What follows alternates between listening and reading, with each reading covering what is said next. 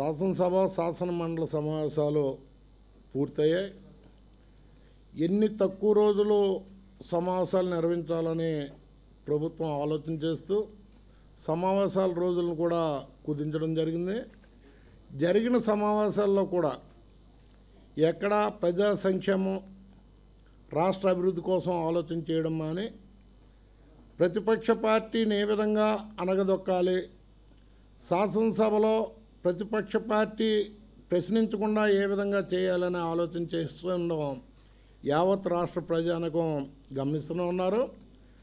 శాసనసభలో ప్రతిపక్ష పార్టీ నొక్కు గొంతు నొక్కితే రాష్ట్ర ప్రజల గొంతు నొక్కినట్లుగానే మేము తెలియజేస్తున్నాం.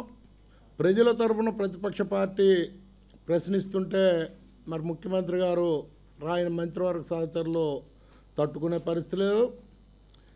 రాష్ట్ర రెవెన్యూ లోటు రెండు వేల ఐదు వందల కోట్లు భర్తీ చేయమని కేంద్రానికి మరి ఫైల్ పంపిస్తే కేవలం ఐదు వందల కోట్లు మాత్రమే విడుదల చేసి కేంద్రం చేతులు దురుపుకున్న పరిస్థితిలో మరి కేంద్రం రాష్ట్రానికి నిధులు ఇవ్వకపోవడం అన్యాయం అయినప్పటికీ కేంద్రాన్ని నిలదీసే పరిస్థితిలో ఈ ప్రభుత్వం లేకపోవడం రాష్ట్ర ప్రజల దౌర్భాగ్యంగానే మేము అభివర్ణిస్తున్నాం. ఎందుకంటే చంద్రబాబు నాయుడు గారికి ఉన్న లొసుగుల వల్ల కేంద్రాన్ని అడిగే పరిస్థితిలో లేరన్న విషయం యావత్ ప్రజానికం కూడా గమనిస్తూనే ఉన్నారు. మొన్న ఒక విషయం మాట్లాడుతూ రాష్ట్రంలో గృహ నిర్మాణంలో కూడా ప్రైవేటు వ్యక్తుల భాగస్వామ్యం తీసుకుంటానని చెప్తున్నారు. అంటే ఈరోజు రాష్ట్రంలో టాయిలెట్స్ ఏ విధంగా మీరు జన్మభూమి కమిటీలు ఏర్పరిచి మీ పార్టీ నాయకులకి కార్యకర్తలకు ఇస్తున్నారో రేపటి రోజున పేదవాళ్ళకి నిర్మించే గృహాలు కూడా మీ పార్టీ నాయకులకి కార్యకర్తలకి ఇచ్చి దోచుకోవడానికి ఏ విధమైన అర్హత లేదు. అన్నింట్లో కూడా దోచుకోండి. ఆఖరికి పేదవాళ్ళకి ఇచ్చే గృహాల నిర్మాణంలో కూడా మీరు దోచుకోండి అని చెప్పడానికే ముఖ్యమంత్రి గారు ప్రైవేట్ భాగస్వామ్యాన్ని ఆహ్వానిస్తున్నారని తెలియజేస్తున్నాం. రాష్ట్రంలో నిత్యావసర ధరలు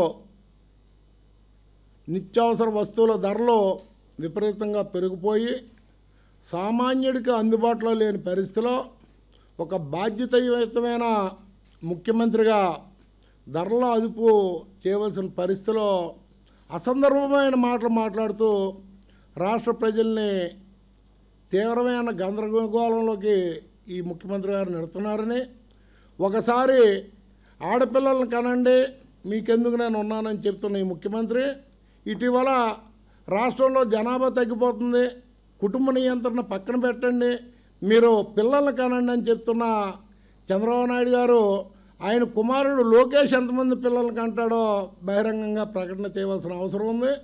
రేపటి రోజున మరి మీ మాట మీద కుటుంబ నియంత్రణ పక్కన పెట్టి ప్రతి ఒక్కరూ కూడా పిల్లల్ని ఎక్కువ మందిని కంటే వారి పోషకారానికి మార్గం ఈ రాష్ట్ర ప్రభుత్వం చూపిస్తుందా అని వైఎస్ఆర్ కాంగ్రెస్ పార్టీ తరఫున అడుగుతున్నాం.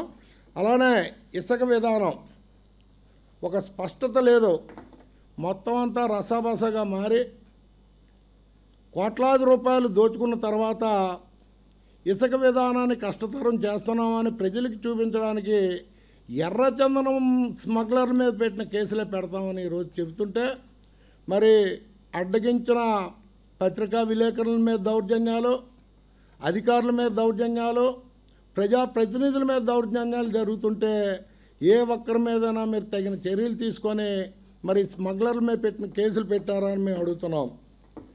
ఇంకా ఈ రాష్ట్రంలో ఎండాకాలం తీవ్ర తీవ్రంగా ఉండి ఎండలు మండిపోతుంటే కేవలం నీటిని వృధా చేయకండి అని ఒక ప్రకటన చేసి చేతులు దులుపుకున్న ఈ ముఖ్యమంత్రి గారు మరి ఈ తీవ్రమైన తాగునీటి సమస్యని అధిగమించడానికి చేసే ప్రయత్నం ఏమైనా ఉందా అంటే లేదనే చెప్పాల్సి ఉంటుంది.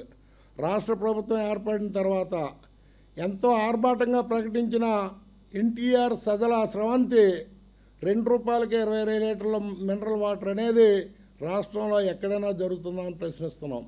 రాష్ట్ర ముఖ్యమంత్రే కాదు రాష్ట్ర ప్రభుత్వం కూడా పరిపాలన గాలికి వదిలి ఏదో మేము ఉన్నాము మా పనులు మేము చేసుకుంటున్నాం మా మా అభివృద్ధిని మేము చూసుకుంటున్నాం ఈ రాష్ట్రంలో దొరికినంత దోచుకుంటున్నామని చూ చూపిస్తున్నారా తప్ప నిజమైన ప్రజా సంక్షేమం కోసం కానీ రాష్ట్ర అభివృద్ధి కోసం కూడా ఎక్కడా ప్రయత్నం చేయట్లేదు.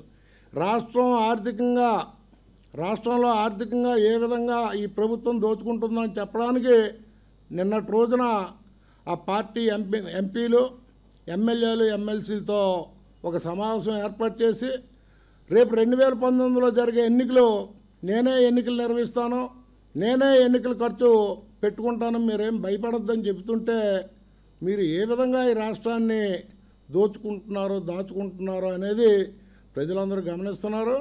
రేపటి రోజున మీరు ఎన్ని వేల రూపాయలు ఓటుకిచ్చినా కూడా ఈ రాష్ట్ర ప్రజలు మిమ్మల్ని నమ్మరు. మీరు చేసిన మోసపూరితమైన వాగ్దానాలు చూసి చూసి చూసి విసిగి వేసారిపోయిన ఈ రాష్ట్ర ప్రజలు ఎప్పుడు ఎన్నికలు జరిగినా కూడా వైఎస్ఆర్ కాంగ్రెస్ పార్టీకే ఓటేస్తారు. జగన్మోహన్ రెడ్డి గారిని ముఖ్యమంత్రి చేస్తారని ఈ సందర్భంగా ఈ రాష్ట్ర ముఖ్యమంత్రి గారికి కానీ మరి తెలుగుదేశం పార్టీ నేతలకు కానీ చెప్తున్నాం.